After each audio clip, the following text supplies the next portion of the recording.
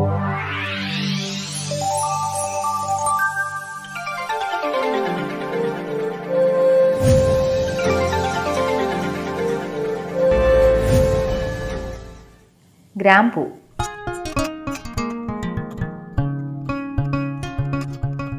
B C മുന്നൂറുകളിലാണ് ഗ്രാമ്പു ആദ്യമായി സുഗന്ധദ്രവ്യമായി ഉപയോഗിച്ചു തുടങ്ങിയതെന്ന് കരുതപ്പെടുന്നു.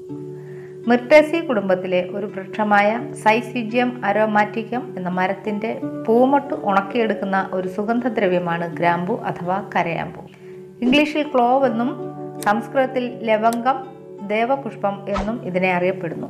ഗ്രാമ്പു നല്ല മഴയും വെയിലും ഈർപ്പവുമുള്ള പ്രദേശങ്ങളിൽ പന്ത്രണ്ട് മീറ്റർ വരെ ഉയരത്തിൽ നിറയെ ഇലകളും ശാഖകളുമായി വളരുന്ന ഒരു നിത്യഹരിത വൃക്ഷമാണ്.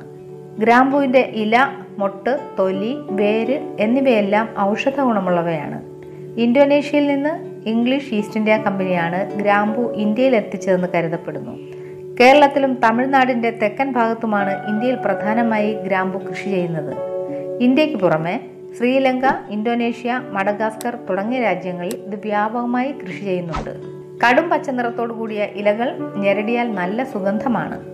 ഇതിന്റെ രണ്ടറ്റവും കൂർത്തതും പന്ത്രണ്ട് സെന്റിമീറ്റർ വരെ നീളവും രണ്ട് പോയിന്റ് അഞ്ച് സെന്റിമീറ്റർ വരെ വീതിയും ഉണ്ടാകും. ഇലകളുടെ അടിവശത്തായി പൊട്ടുപോലെ നിരവധി എണ്ണഗ്രന്ഥികൾ കാണപ്പെടുന്നുണ്ട്. പൂങ്കുലങ്ങൾ ഉണ്ടാകുന്നത് ചെറിയ ശിഖരങ്ങളുടെ അഗ്രഭാഗത്തായിട്ടാണ്. പൂമൊട്ടുകൾക്ക് പച്ച നിറവും അഗ്രഭാഗം ഗോളാകാരവുമാണ്. പൂവുകളിൽ കുഴൽ രൂപത്തിലുള്ള ബാഹ്യതലപുടം കാണപ്പെടുന്നു. ഒരു കുലയിൽ ഇരുപത് മുതൽ മുപ്പത് വരെ പൂമുട്ടുകൾ കാണും. ഇതിൽ ഒരു മൊട്ട് പൂവിടുമ്പോൾ ആ കുല പറിച്ചെടുക്കണം. കൂടുതൽ മൊട്ട് വിരിയാൻ അനുവദിച്ചാൽ ഗ്രാമ്പൂവിന്റെ ഗുണനിലവാരം കുറയും. നന്നായി വളർന്നു പാകമെത്തിയതും എന്നാൽ വിരിയാത്തതുമായ സുഗന്ധത്തോടു കൂടിയ ഉണങ്ങിയ പൂമൊട്ടുകളാണ് വ്യാവസായികമായി ഗ്രാമ്പൂ എന്നറിയപ്പെടുന്നത്. ഗ്രാമ്പൂവിന്റെ മൊട്ടുകളും ഇലകളും വാറ്റി തൈലം എടുക്കുന്നുണ്ടെങ്കിലും മൊട്ടിൽ നിന്നെടുക്കുന്നതാണ് ഏറ്റവും ഗുണമുള്ള തൈലം. ഗ്രാമ്പൂവിൽ നിന്നും ലഭിക്കുന്ന തൈലത്തിൽ തൊണ്ണൂറ് ശതമാനം യുജിനോൾ ആണ്. മീതയിൽ സാലിസിലേറ്റ് എന്ന വേദന സംഹാരി ഇതിലുള്ളതുകൊണ്ടാണ് ഗ്രാമ്പു പല്ലുവേദന ശമിപ്പിക്കാൻ ഉപയോഗിക്കുന്നത്. സന്ധിവാദം പോലുള്ള രോഗങ്ങളുടെ സാധ്യത കുറയ്ക്കുന്നതിന് യുജനോൾ സഹായിക്കുന്നു. ഗ്രാമ്പു തൈലം ഗ്യാസ് ട്രബിൾ മോണപഴുക്കൽ ആമാശയത്തിലെ അൾസർ ദഹനക്കേട് എന്നീ രോഗങ്ങൾക്ക് ഫലപ്രദമാണ്. ദിവസേന ഓരോ ഗ്രാമ്പു കഴിക്കുന്നത് കൊണ്ട് സുഖശോധന ലഭിക്കും. ഗ്രാമ്പുവിന് അണുനാശക ശക്തിയുള്ളതിനാൽ ത്വക്കിലുണ്ടാകുന്ന അണുബാധയ്ക്ക് വളരെ ഫലപ്രദമാണ്. ഇതിൽ ദഹന വ്യവസ്ഥയ്ക്കും ശ്വാസകോശ വ്യവസ്ഥയ്ക്കും പ്രയോജനകരമായ ഘടകങ്ങൾ അടങ്ങിയിരിക്കുന്നു. രാത്രി അത്താഴ ശേഷം ഒരു കഷ്ണം ഗ്രാമ്പു വായിലിട്ട് നുണഞ്ഞിറക്കുന്നത് ഏറെ നല്ലതാണ്.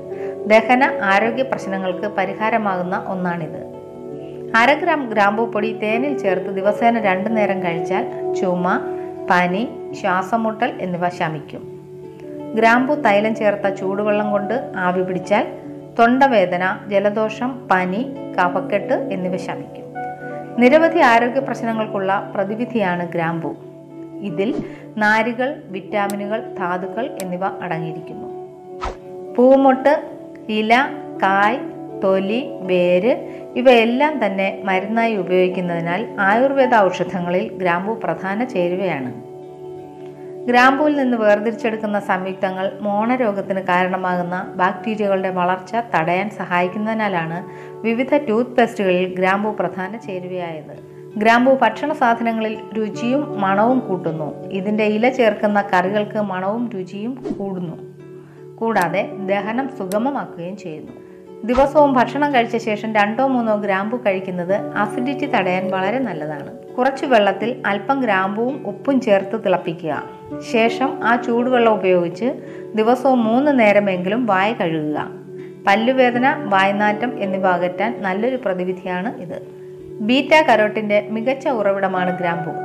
കണ്ണുകളെ ആരോഗ്യകരമായി നിലനിർത്തുന്നതിനുള്ള പ്രധാന പോഷകമാണ് ബീറ്റ കരോട്ടിൻ ഗ്രാമ്പു ചർമ്മത്തിനുണ്ടാകുന്ന അണുബാധകളെയും അലർജികളെയും പ്രതിരോധിക്കുന്നതിന് പുറമെ ശരീരത്തിലെ വിഷാംശങ്ങളെയും നശിപ്പിക്കുന്നു.